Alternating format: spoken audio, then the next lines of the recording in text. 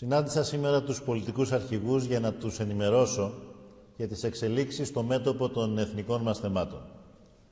Θεωρώ δεδομένο ότι είναι ευθύνη της ελληνικής κυβέρνησης, αλλά και δική μου προσωπικά, ειδικά στη φάση της μετάβασης στην μεταμνημονιακή εποχή, να κλείσουμε όσο το δυνατόν περισσότερα μέτωπα και να οικοδομήσουμε μια νέα δυναμική φυσιογνωμία διαδραματίζοντας τον ηγετικό ρόλο που μας αναλογεί στα Βαλκάνια. Σε ό,τι αφορά τις συνομιλίες με την γειτονική Αλβανία, ενημέρωσα τους πολιτικούς αρχηγούς ότι έχει ανοίξει ο δρόμος για την πλήρη ομαλοποίηση και αναβάθμιση των διμερών σχέσεων ανάμεσα στις χώρες μας. Είμαστε επομένως έτοιμοι για μια στρατηγική συμφωνία Ελλάδας-Αλβανίας που θα επιλύει τις κρίσιμες διαφορές και θα οδηγεί στην προώθηση των ενταξιακών διαπραγματεύσεων της γειτονικής μας χώρας. Στο ζήτημα αυτό φαίνεται εξάλλου ότι διαμορφώνεται μια ευρύτερη πολιτική συνένεση, την οποία δεν μπορώ παρά να καλωσορίσω. Σε ό,τι αφορά το εξαιρετικά κρίσιμο και δύσκολο θέμα που αφορά τις διαφορές μας με την πρώην Ιγκοσλαβική Δημοκρατία της Μακεδονίας, ενημέρωσα διεξοδικά τους πολιτικούς αρχηγούς για τις τελευταίες εξελίξεις. Εξήγησα ότι το 2018 έχει ανοίξει ένα παράθυρο ευκαιρίας για λύση, καθώς η νέα πολιτική ηγεσία της γείτονος, υπό τον κύριο Ζάεφ, επιδεικνύει βούληση να διαπραγματευτούμε και να βρούμε μια αμοιβαία αποδεκτή λύση σε ένα πρόβλημα, το ονοματολογικό αλλά και τα παρακολουθήματά του, που υπονόμευσε τις σχέσεις των δύο χωρών τα τελευταία 25 χρόνια. Ειδικότερα τόνισα ότι η νέα πολιτική ηγεσία έχει ανασκευάσει και αποσύρει σε κάποιο βαθμό την αλυτρωτική ρητορία των προηγούμενων κυβερνήσεων, γεγονός που εκ των πραγμάτων λειτουργεί καταλυτικά για την εντατικοποίηση των διαπραγματεύσεων.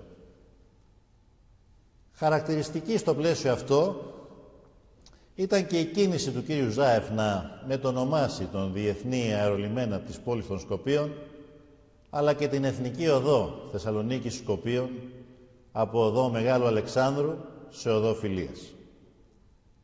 Αυτές οι συμβολικές κινήσεις δεν σημαίνουν βεβαίως ότι το πρόβλημα του αλυτρωτισμού έχει επιληθεί καθώς η πολιτική βούληση των γειτόνων μας πρέπει να πάρει και τη μορφή σαφών και συγκεκριμένων δεσμεύσεων στο πλαίσιο των συνομιλιών που διεξάγονται τόσο σε διμερές όσο και στο πλαίσιο της ε, διαμεσολάβησης του Οργανισμού Ηνωμένων Εθνών.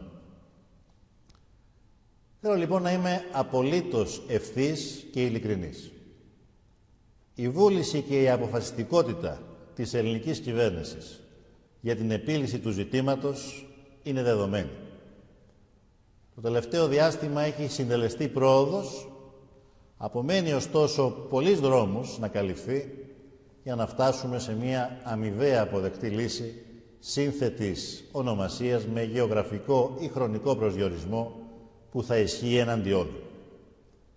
Και όταν λέμε εναντί όλων, εννοούμε τόσο τη διεθνή ονομασία όσο όμως και την ονομασία στο εσωτερικό.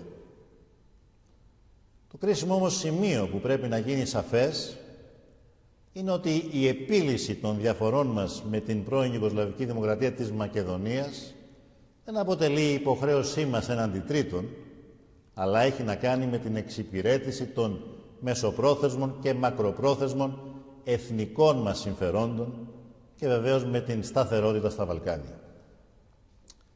Δεν αποτελεί δηλαδή ένα θέμα που προσφέρεται για εσωτερική πολιτική αντιπαράθεση. Διότι πρέπει όλοι να κατανοήσουν ότι η μη επίλυσή του και η απώλεια της ευκαιρίας για λύση θα αποβεί τελικά σε βάρος τόσο της Ελλάδας όσο και της σταθερότητας στην ευρύτερη περιοχή. Και δεν είναι καθόλου τυχαίο ότι τα τελευταία 25 χρόνια η πλειονότητα των χωρών του Οργανισμού Ηνωμένων Εθνών έχουν αναγνωρίσει τη γειτονική, τη γειτονική χώρα με το συνταγματικό της όνομα. Ενώ και στην προσωρινή ονομασία που η Ελλάδα αναγνωρίζει από το 1995, περιλαμβάνεται ο όρος Μακεδονία, αλλά χωρίς κανέναν προσδιορισμό που να αποτρέπει το ενδεχόμενο να ηγερθούν στο μέλλον διεκδικήσεις έναντι του εδάφους ή της ιστορίας μας. Είναι λοιπόν το, λιγότερο, το λιγότερο υποκριτικό. Κάποιες πολιτικές δυνάμεις, αλλά και συγκεκριμένα πρόσωπα, να εκμεταλλεύονται τις ευαισθησίες και την αγωνία του ελληνικού λαού για να υπηρετήσουν μια πλήρως αναποτελεσματική και αδιέξοδη στόχευση η οποία σε τελευταία ανάλυση είναι αντίθετη προς τα εθνικά μας συμφέροντα. Απαιτείται λοιπόν πατριωτική εγρήγορση για να πετύχουμε την καλύτερη δυνατή λύση. Αλλά δεν είναι ώρα, όπως άλλωστε ποτέ δεν ήταν, και η Ελλάδα το έμαθε αυτό με τον δυσκολότερο τρόπο, για εθνικιστικές εξάρσεις και κραυγές φανατισμού. Χρειάζεται σοφροσύνη, μετριοπάθεια, πνεύμα συνεννόησης και ρεαλισμός, αν θέλουμε να υπηρετήσουμε το εθνικό συμφέρον και όχι να στήσουμε πολιτικές καριέρες, εκμεταλλευόμενοι το γνήσιο και αυθεντικό πατριωτικό αίσθημα των Ελλήνων.